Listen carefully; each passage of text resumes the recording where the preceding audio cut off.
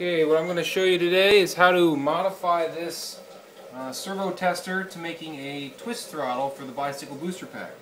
Uh, what I have here is the this is the standard throttle. So up until now, it's just a single button. You press and hold to boost and release to stop boosting. And um, it's a really simple and effective control, but it does have like a jarring effect. It's just just throws it out. Uh, so. But I think we can improve it with a little ramp up you get with a, a, thumb throttle and you can you know choose half speed if you want to. So this is exactly the servo tester unmodified.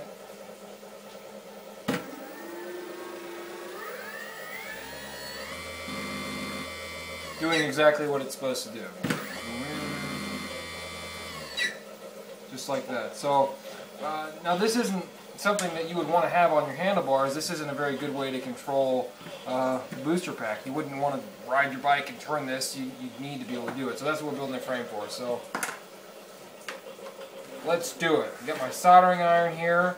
This is all I did was take the cover off of this thing and uh, so first thing I did is actually when you had it powered up there's three LEDs. They're for different settings. So you want to make sure that only the first LED is lit up.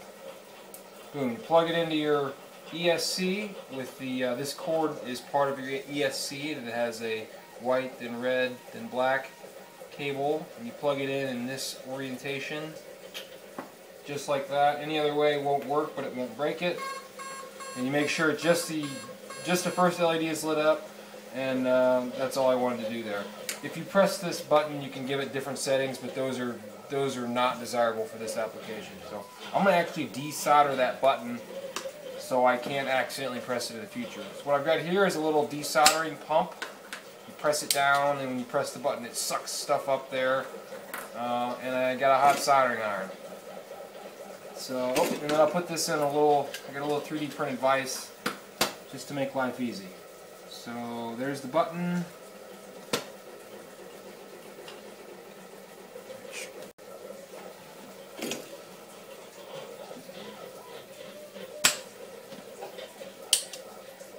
You've never used one of these before, these are really handy little tools. Just get the stuff melted, throw it over there and suck it up.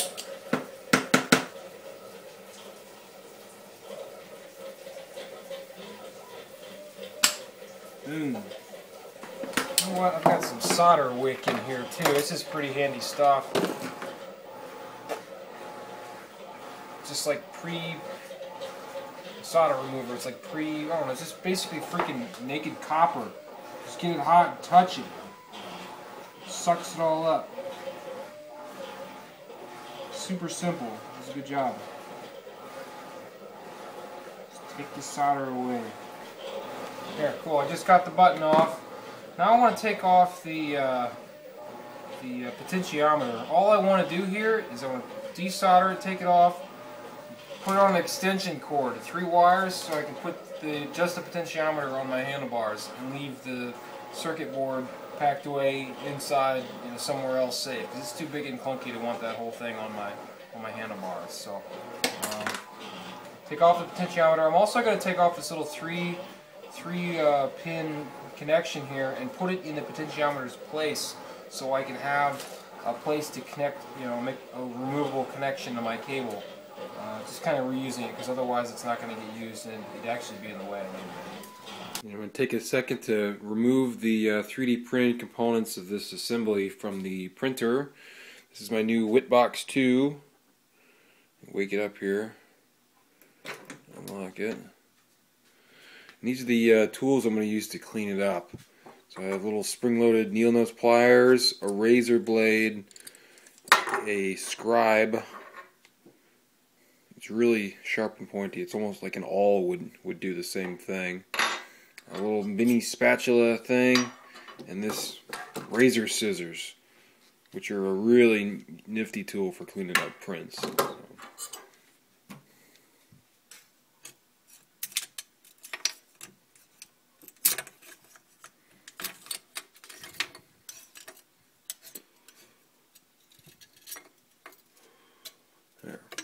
Take these over and get them cleaned up. Okay, I took a break, traded my beer for some coffee, and did a little soldering to catch up on uh, on this stuff. So now here's here's where I'm at. I've got this long extension wire with a little female uh, pin connector on this side, and then I soldered my um, the leads to the potentiometer that I had removed from this little circuit board earlier. Uh, in its place, I've I had remember I had moved the little three pin connector to where the to where the um, the potentiometer is, and then I also discovered that it was absolutely necessary to put this green ground wire across the two um, outer legs where the potentiometer is. Apparently, they had used that as a as a ground within the circuit, and it will not work without it.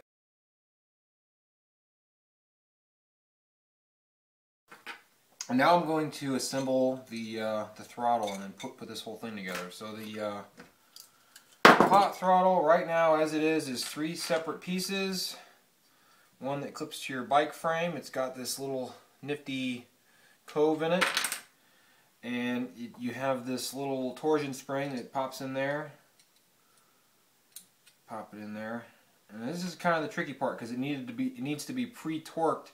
This uh, it needs to be pre-torqued so it's this thumb part is thrown up into the neutral position and doesn't jiggle at all. So uh, this piece has where your thumb goes and the little uh, torsion spring fits in that groove.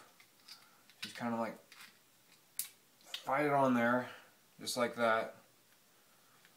And then to finish the assembly, this final piece, I'm going to take the cord and, sli and slide it through the little slot.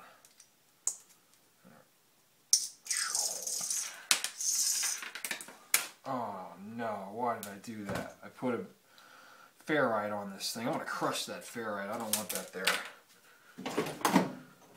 Hopefully I don't crush my wire. Yes! Okay, moving on on down. And then the wires just kind of, there we go, seat in there. And now this has, like, it moves 270 degrees. We're only using like 70 degrees in this case. And I don't want to like bottom out at any point. You can calibrate the, the ESC to respond to any given range. So I'm going to pick a range that's roughly in the middle so I don't hit any of the sides. So that's the middle. And what it does is the this black part in the pot presses into the thumb grip and then this other pin is kind of like a press-on locator for this half. And they just assemble like that.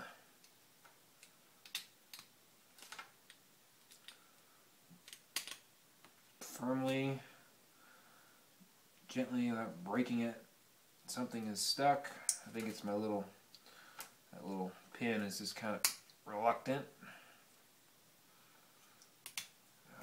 It's definitely what it uh, is. Connect that. Connect. Now these three wires are obviously I put them in the same orientation that the potentiometer was when it was sitting in that spot. Boom. Now it's connected. Just same thing at the end of the long cord.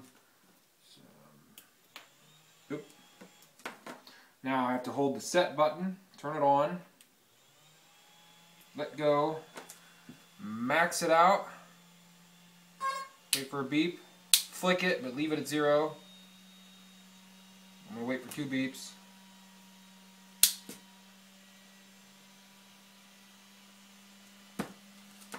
Be all.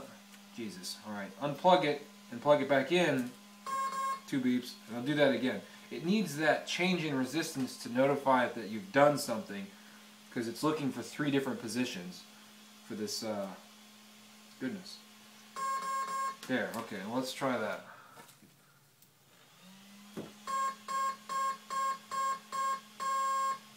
Woo! Nice. Balls out.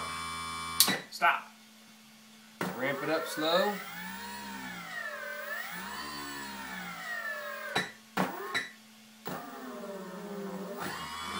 That's it. Final thing is to attach to your bike is a little fastener. Slip it over the handlebars and away you go. I'll add, I don't even know what size this is offhand. It's definitely an inch and a half long.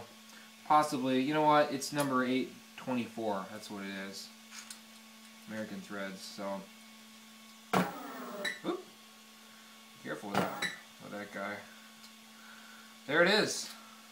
Pot throttle.